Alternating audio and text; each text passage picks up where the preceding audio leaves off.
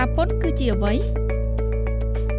ពន្ធគឺជាបន្ទុករបស់អ្នកជាប់ពន្ធចំពោះរដ្ឋនិងជាកាតព្វកិច្ចរបស់គ្រប់សមាជិកដែលកំណត់ដោយច្បាប់ច្បាប់ជាធរមានរបស់ព្រះរាជាណាចក្រកម្ពុជាបច្ចុប្បន្នស្ដីអំពីសារពើពន្ធឆ្នាំ1997បានចែងថាពន្ធសំដៅដល់ពន្ធផ្ទាល់ដែលជាប្រភេទពន្ធប្រមូលយកដោយផ្ទាល់ពីអ្នកជាប់ពន្ធលើកលែងតែពន្ធគយឬអាករដែលសំដៅដល់ពន្ធប្រយោល ការប្រមូលពន្ធនេះគឺជាការយកតាមតម្លៃទំនិញឬសេវា ហើយអ្នកជាប់ពន្ធគឺជាអ្នកប្រើប្រាស់ចុងក្រោយតើអ្នកណាជាអ្នកបង់ពន្ធហើយបង់ដោយរបៀបណាការបង់ពន្ធគឺជាកាតព្វកិច្ចរបស់ប្រជាពលរដ្ឋឬស្ថាប័នពាក់ព័ន្ធនានាដែលត្រូវបង់ជូនរដ្ឋនៅពេលដែលអ្នកទិញទំនិញជាសម្ភារៈឬចំណីអាហារឬសេវាកម្មផ្សេងផ្សេងអ្នកត្រូវបង់ពន្ធលើមុខទំនិញទាំងអស់នោះដោយអ្នកលក់បានបុកបញ្ចូលតម្លៃពន្ធរួចជាស្រេច ប្រាក់បៀវត្សរបស់អ្នកក៏ត្រូវក្រុមហ៊ុនឬស្ថាប័នដែលអ្នកបម្រើការងារជូនកាត់ទុកពន្ធនៅមុនពេលបើកប្រាក់បៀវត្សឲ្យអ្នកជារៀងរាល់ខែនៅពេលដែលអ្នកសម្លាប់សត្វគោក្របីជ្រូកអ្នកត្រូវបង់ពន្ធសត្វឃាតទៅលើសត្វមួយក្បាលដែលយកទៅសម្លាប់នៅកន្លែងពិឃាតសត្វអាគារដែលសង់លើដី ដូចជាផ្ទះរោងចក្រការិយាល័យឡាក់គឺសុទ្ធតែជាកម្មវត្ថុនៃការបង់ពន្ធលើឈ្នួលផ្ទះ និងដីនៃប្រាក់ឈ្នួលដុលដែលបានចុះកិច្ចសន្យាឬបានព្រមព្រៀងជាមួយអ្នកជួលម្យ៉ាងវិញទៀតនៅពេលដែលអ្នកប្រកបមុខរបរអាជីវកម្មអ្នកក៏ត្រូវបង់ពន្ធលើប្រាក់ចំណូលសុទ្ធដែលបានមកពីលទ្ធផលទាំងអស់នៃប្រតិបត្តិការអាជីវកម្មគ្រប់ប្រភេទរបស់អ្នកអ្នកក៏ត្រូវបង់ពន្ធលើមធ្យោបាយដឹកជញ្ជូននិងយានជំនិះគ្រប់ប្រភេទនិងពន្ធផ្សេងផ្សេងទៀតហេតុអ្វីចាំបាច់ត្រូវបង់ពន្ធ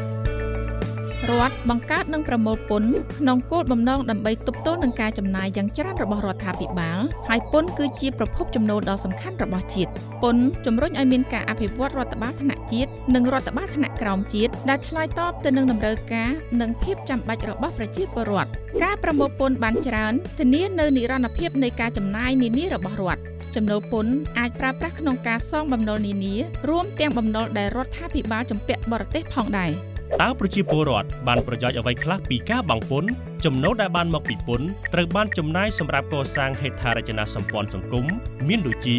សាងសង់សាលារៀនមន្ទីរពេទ្យផ្លូវថ្នល់ស្ពានសួនច្បារវត្តអារាម និងទីធ្លាសាធារណៈផ្សេងៗប្រជាពលរដ្ឋអាចធ្វើដំណើរលើផ្លូវសាធារណៈបានយ៉ាងងាយស្រួលកូនកូនរបស់លោកអ្នកអាចចូលរៀននៅសាលារដ្ឋតាំងពីមត្តេយសិក្សា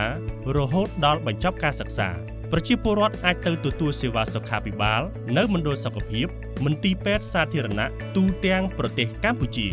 ការបម្រើឲ្យវិស័យការពារជាតិនិងពង្រឹងប្រសិទ្ធភាពនៃសេវាសាធារណៈផ្សេងៗទៀតត្រូវបានដាក់ជូនប្រជាពលរដ្ឋទូទាំងប្រទេសលើសពីនេះទៅទៀតរដ្ឋាភិបាលយកចំណូលពន្ធទៅធានាឲ្យការចំណាយលើប្រាក់បៀវត្សរបស់មន្ត្រីរាជការគ្រូបង្រៀនប៉ូលីសទាហានកងទ័ពនិងជនសោធននិវត្តន៍ជាដើមតើ